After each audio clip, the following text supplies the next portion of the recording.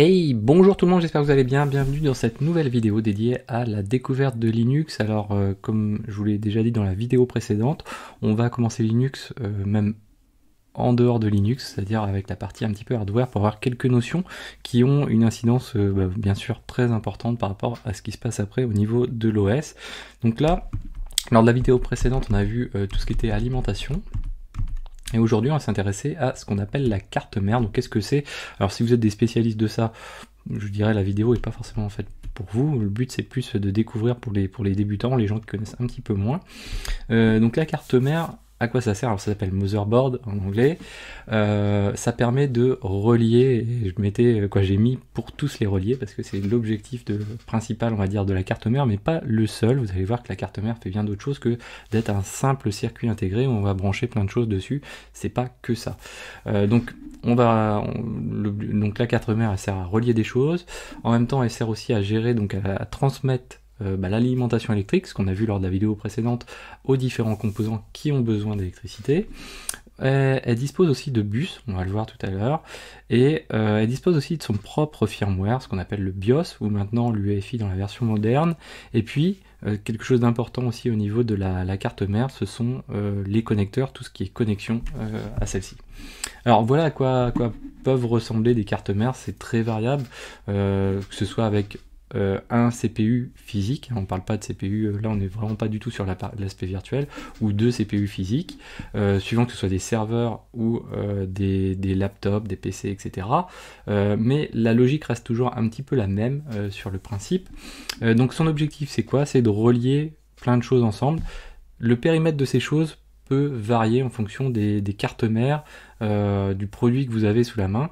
Mais l'objectif, c'est d'essayer de relier donc l'alimentation, le processeur, donc le CPU, la carte, euh, la carte mémoire, la carte réseau, euh, le disque, donc que ce soit du SSD ou du disque physique, et puis de tout ce qui est bus, la gestion de tout ce qui est la mise en place de tout ce qui est bus pour interconnecter tout ça et faire en sorte que les choses fonctionnent ensemble. Alors vous voyez que quand on voit ça, on peut se dire l'objectif bah, c'est de rassembler un maximum de choses sur un minimum d'espace, c'est tout à fait ça, mais tout en gardant un aspect de performance. C'est-à-dire que si je mets euh, le CPU plus proche de la RAM, bien sûr c'est un objectif, puisque la RAM, le CPU en a besoin, et euh, plus la distance va être courte, plus euh, le traitement va être rapide des informations, plus la récupération des informations va être rapide.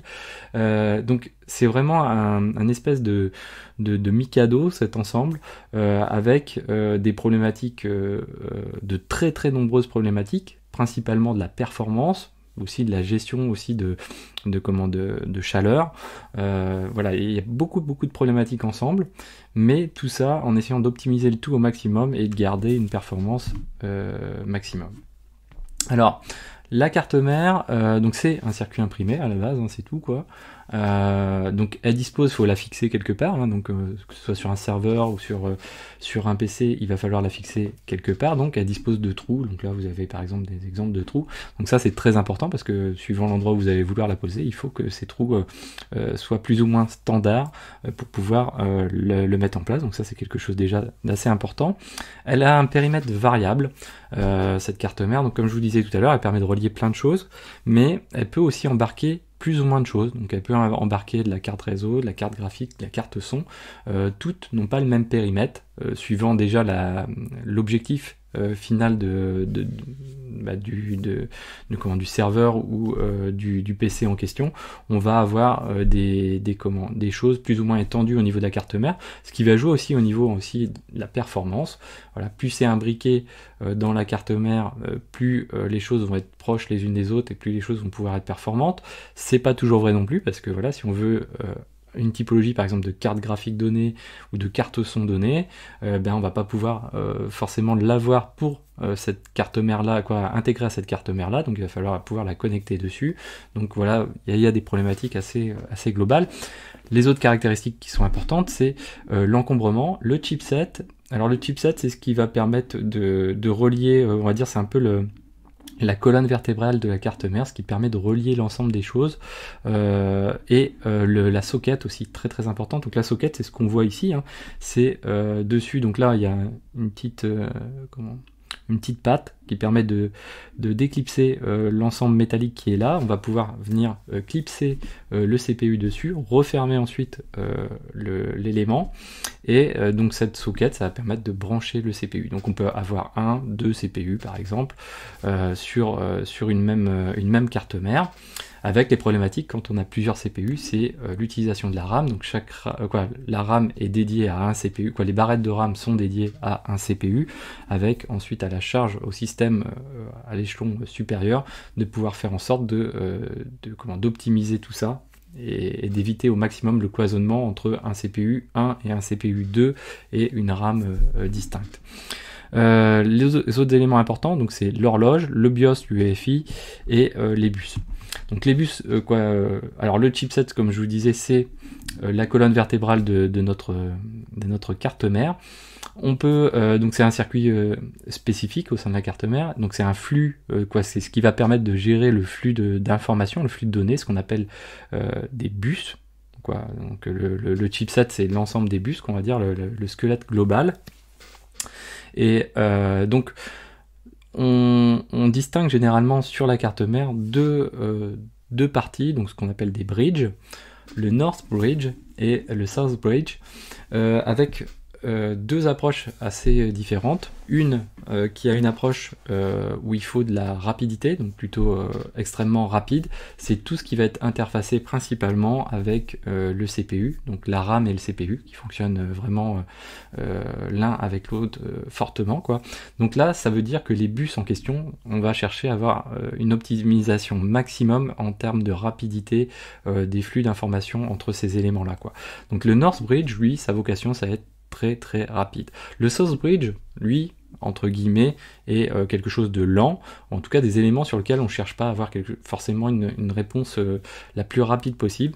Ça va être bah, les éléments euh, physiques tels que le clavier, la souris, la carte son, le BIOS ou d'autres éléments.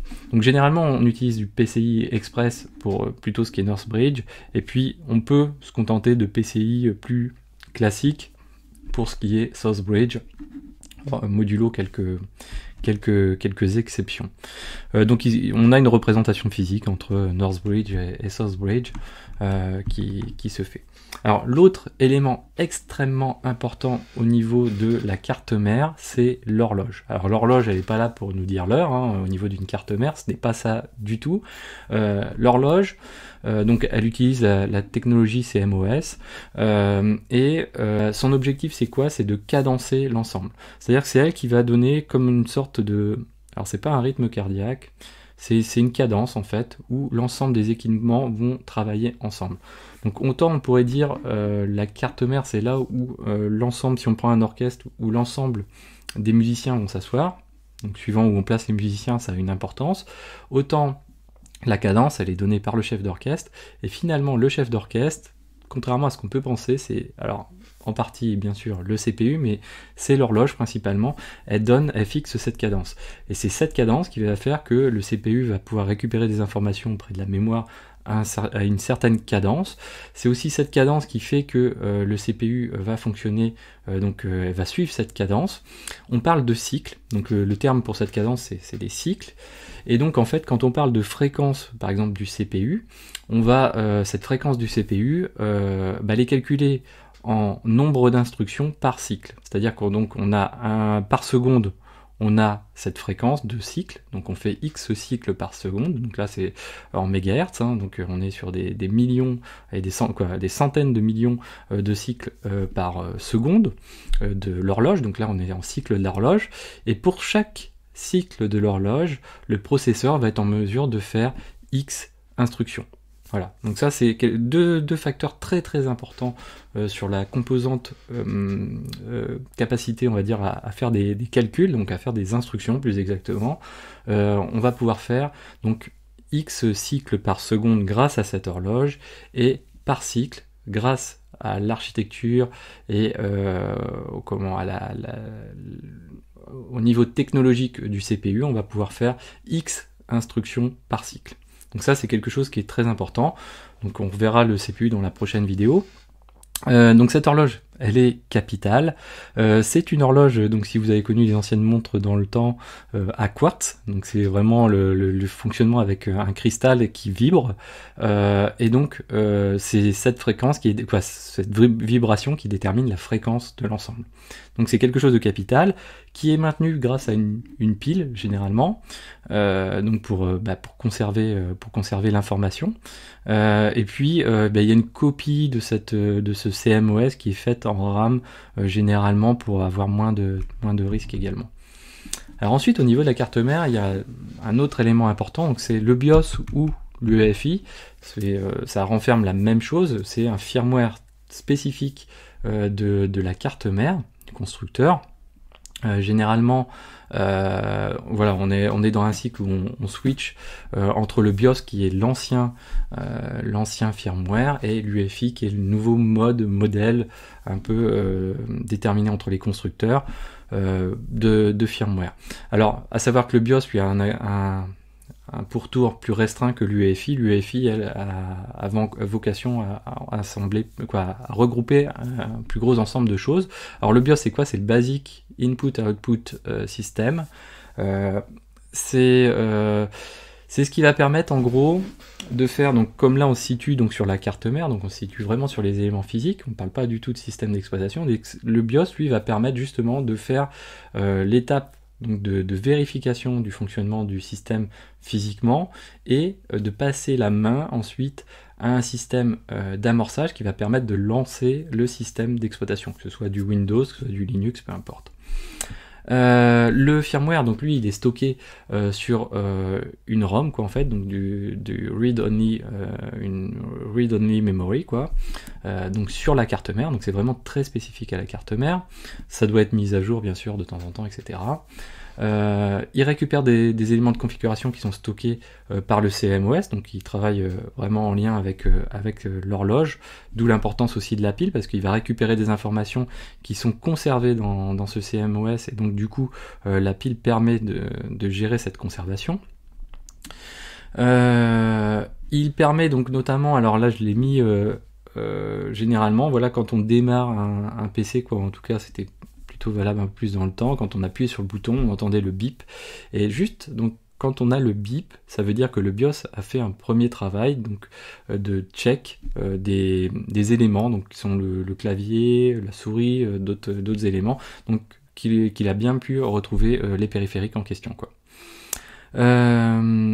Le BIOS, c'est aussi lui qui va déterminer l'ordre euh, des périphériques et notamment donc le fameux boot. Euh, donc si on veut booter sur USB, comme on bootait avant sur disque dur, etc. Euh, sur sur, comment sur DVD ou CD, etc. Donc là on est on est dans le BIOS exactement quoi.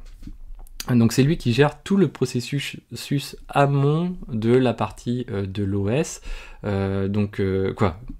Avant l'OS, pas de l'OS, mais avant l'OS, euh, avec donc un, premier, donc tout le processus d'amorçage, avec ce qu'on appelle le post, qui est le tout début, donc la, vérification et le test des ressources et des périphériques, donc Power on Self Test, et ensuite la partie euh, secondaire qui est euh, le chargeur d'amorçage ou ce qu'on appelle ce qu'on appelait le bootloader, donc qui lance ensuite le système d'exploitation. L'UEFI, je vais pas trop m'étendre, c'est à peu près le même principe avec des pourtours un petit peu plus larges. Euh, donc c'est Unified Extensible Firmware Interface. Euh, c'est le BIOS, donc euh, nouvelle version. Donc bon, rien qu'à l'interface, c'est déjà un petit peu plus moderne. Après, ça reste quand même quelque chose qui peut pas consommer beaucoup de, ressources parce que voilà, la carte mère, elle, est, possède pas de, disque comme peut le posséder un système classique. Euh, le comment? L'interface donc est un peu plus moderne et ressort plus d'éléments, euh, des choses plus faciles à, consulter. Et l'UEFI permet aussi notamment d'utiliser ce qu'on a quoi, de mettre en place ce qu'on appelle le Secure Boot, qui permet la prévention de tout ce qui est rootkit, malware, donc vraiment un aspect sécurité assez important. Ce qu'on retrouve quand on fait une install de, euh, de, Linux euh, et quand on utilise du VirtualBox ou des choses comme ça, on va, avoir, on va être confronté à ces problématiques de, de secure boot, euh, etc. en tout cas, de temps en temps. Après les origines donc, sont discutables de l'UEFI, en fait ça a mis du temps à se mettre en place, mais toujours un petit peu de temps. vous trouverez encore beaucoup de choses qui tournent sur du BIOS. Euh, et derrière, c'est poussé plus ou moins par certaines sociétés comme Microsoft, je crois qu'Intel également, euh, mais euh, voilà, avec des, politiques un peu, quoi, des, des volontés un peu variées par rapport à l'UEFI. Voilà, donc j'espère que cette vidéo vous a plu. N'hésitez pas à la partager, à mettre des pouces bleus, à commenter. Et moi, je vous dis à très bientôt sur Xavki.